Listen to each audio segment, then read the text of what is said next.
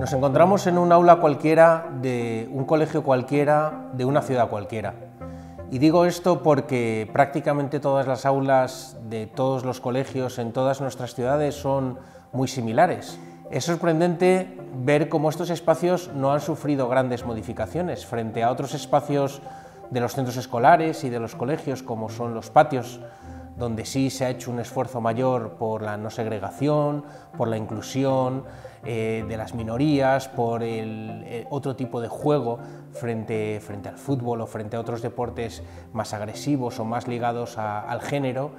En este vídeo queremos plantearos una reflexión acerca de los espacios del aula, de cómo son, de si podrían ser de otra forma y qué cosas podemos hacer para eh, repensarlas, y para coproducir otro tipo de espacios donde se puedan dar estas condiciones de enseñanza y de aprendizaje.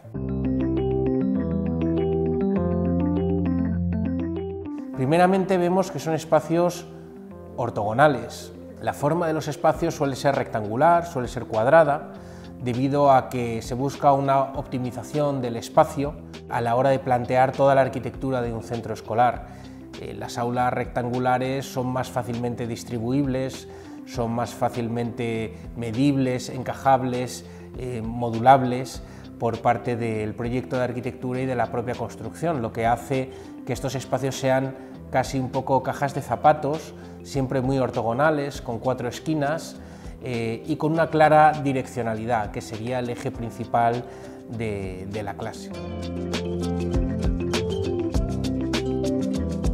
Vemos, por ejemplo, la puerta de acceso, suele haber una puerta o dos puertas simplemente, es un control de acceso tanto para entrar como para salir muy puntual, que normalmente siempre se encuentra cerrado, y por otro lado tenemos las ventanas, unas ventanas que si bien tienen una función muy importante, abrir las ventanas y poder ventilar y también iluminar, muchas veces la falta de, previsión en la orientación de esas ventanas los ruidos, la luz directa, hace que no se aproveche su potencialidad, no se aproveche la luz natural. Luces artificiales que están encendidas siempre, mañana y tarde, verano e invierno, independientemente de la cantidad de luz que haya en el exterior.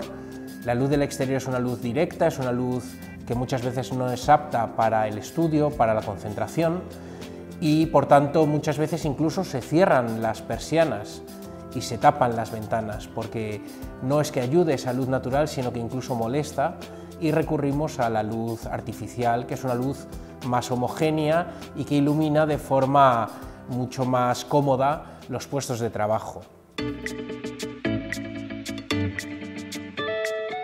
Nos fijamos en las paredes que rodean el aula y vemos que están pintadas siempre de unos colores sufridos, de unos colores que deben ser fácilmente limpiables, con grandes zócalos, donde tienen mucha suciedad de los alumnos y de las alumnas, con colores pasteles, eh, sin ningún criterio más allá que la durabilidad y que esa funcionalidad entendida como fácilmente limpiable.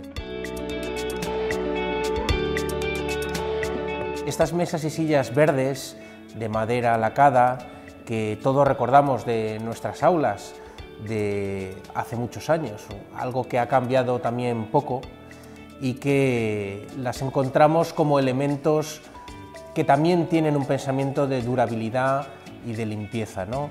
Todos los alumnos tienen su mesa y su silla individualizada, atomizada, mirando en la direccionalidad de la clase hacia el maestro, hacia la pizarra. Y por tanto todos estamos interpelados a mirar a un mismo sitio, a prestar atención y a trabajar de forma individualizada. Hay una ausencia total de, elementos vegetales, de plantas, de otro tipo de seres vivientes que necesitan cuidados, que es importante también la educación en los cuidados, pero que no aparecen en el aula y hay otros espacios en los centros, como por ejemplo son los patios, donde poco a poco también se van introduciendo estas, estas especies vegetales y los protocolos que necesitan de, de cuidados. Si pensamos en cada uno de los atributos y de las cualidades que hemos ido describiendo en este vídeo, podríamos pensar que existirían otras aulas con otro tipo de formas que no fueran ortogonales. ¿Podrían existir aulas abiertas, sin paredes, sin puertas, sin ventanas, sin techo? ¿Podría haber otros colores en el aula? ¿Podría haber otro tipo de iluminación? ¿Podríamos incorporar la vida y los elementos vegetales en el aula? ¿Podríamos hacer que la disposición de los alumnos y los maestros fuese diferente? Estuviesen mezclados, se repartiesen de forma aleatoria, buscasen sus rincones de encuentro, pudiéramos definir determinados espacios específicos para los diferentes momentos que se dan en un aula, una explicación donde todo el mundo debe atender, un momento de trabajo colectivo, un momento de trabajo individual, un momento de concentración y de reflexión, un momento de presentación y de socialización, todos esos momentos que son tan diferentes y que requieren a priori de espacios tan diferentes, se pueden dar en un mismo aula de alguna forma. Estas son un poco las reflexiones y las preguntas que planteamos en este vídeo y que queremos invitar a que podáis hacer con nosotros.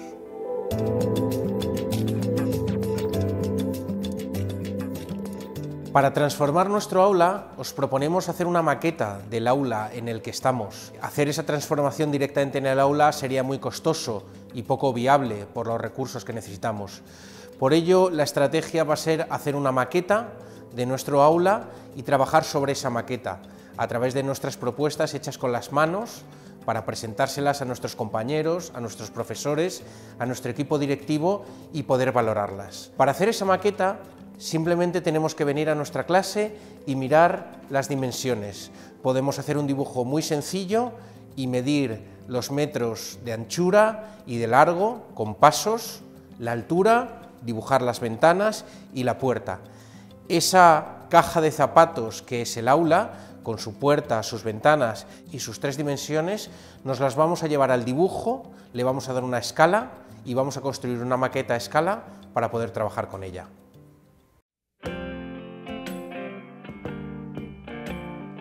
Si os acordáis, en el aula acabamos eh, tomando las dimensiones del espacio del aula, el, ancho, el largo y el alto, eh, simplemente con pasos o con un metro.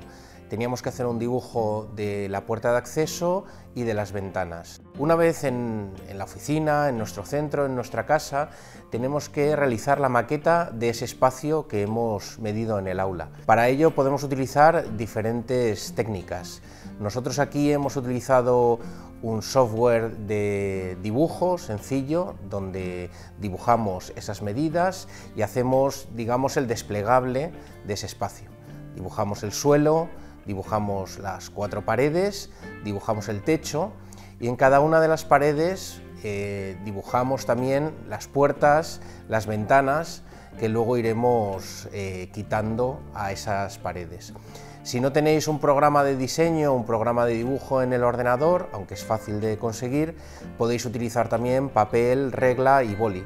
Con un papel cuadriculado, por ejemplo, podéis eh, trabajar a una escala y dibujar esas diferentes piezas de la envolvente, el suelo, las paredes y el techo, eh, para luego simplemente recortarlo. Podéis utilizar diferentes escalas para construir vuestra maqueta. Eh, podéis utilizar el 1.50, por ejemplo, el 1.20 o el 1.10, significa que las dimensiones reales en metros serían 10 veces más pequeñas, 20 veces más pequeñas o 50 veces más pequeñas. Nosotros en este caso hemos utilizado una escala de 1.25. Es una escala similar, por ejemplo, a los juguetes de Playmobil, que podemos apoyarnos y ayudarnos de, de toda la gama que existe en los Playmobil, tanto de figuras como de mobiliario, para jugar y para transformar la maqueta eh, del aula.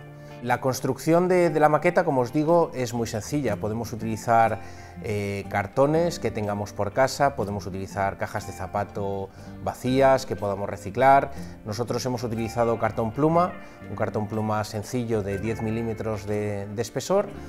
Eh, el dibujo que hemos hecho, tanto en, ordenador como eh, en dibujo en papel cuadriculado, lo ponemos encima del cartón como una plantilla y lo recortamos con unas tijeras o con un cúter eh, cada una de las paredes y montamos el espacio en tres dimensiones. Para el montaje podemos utilizar celo, podemos utilizar pegamento, nosotros hemos utilizado alfileres para que se puedan quitar y poner las paredes y el techo y poder manipular con, con mayor facilidad.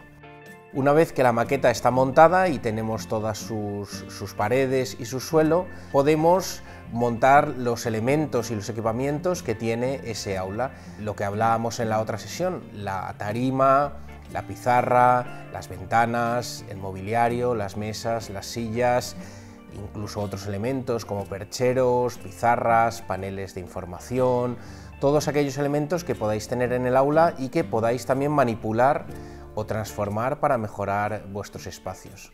Ahora nuestra compañera Julia os va a explicar eh, diferentes propuestas trabajando en la luz, en el color, en el acabado, en las texturas o en la disposición del mobiliario del aula para que veáis simplemente algunos ejemplos de cómo puede cambiar el espacio y la disposición y la relación de los alumnos, el maestro en el espacio del aula y qué oportunidades se pueden dar a la hora de desarrollar pues, las clases y la pedagogía dentro de, de las aulas. Como podéis ver, esta es la disposición tradicional en la que encontramos los pupitres alineados en dirección al profesor, por lo que nos da la clase en una única dirección. No hay reciprocidad entre alumno y profesor. Ahora os vamos a enseñar pequeñas transformaciones que podemos hacer para ir generando nuevas ideas en los espacios educativos. Transformando la geometría de las mesas y en vez de utilizar el estándar rectangular usamos mesas trapezoidales podremos conseguir distintas disposiciones con las que jugar. Este sería un ejemplo. Otra opción que tenemos es filtrar la luz de las ventanas. Se puede jugar con los materiales para producir reflejos y nuevas luces.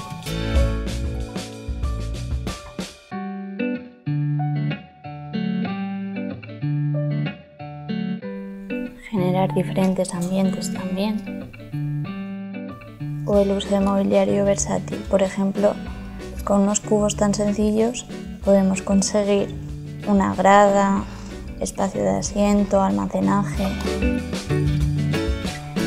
Y por último podemos aplicar algo de color en las paredes. Bueno, esta sería nuestra propuesta final en la que veis hemos aplicado color a una de las paredes, hemos intentado jugar con la luz, tanto con los reflejos que proporcionan nuevos materiales como filtrándola y tamizándolo en vez de con persianas, pues con con una especie de stores que sirvan de filtro. Luego la disposición de las mesas eh, la hemos cambiado por una más flexible con mesas trapezoidales que nos permite más jugar con las geometrías del espacio y generar espacios versátiles. Y con algo tan sencillo como estos cubos podemos generar espacio de almacenaje, graderío o simplemente espacios de reflexión y desconexión. Uno de los elementos que hemos podido fabricar a escala 1.1 y que podríamos ya instalar en el aula es un módulo cúbico eh, que se ha construido a través de la reutilización de una arqueta de saneamiento hecha con material plástico 100% reciclado de la industria automotriz. Esa arqueta sirve como módulo cúbico, como os decía, de 45 por 45 por 45 centímetros, a la que le hemos puesto encima, en la tapa, unas espumas de alta densidad que van agarradas con unas cinchas de colores.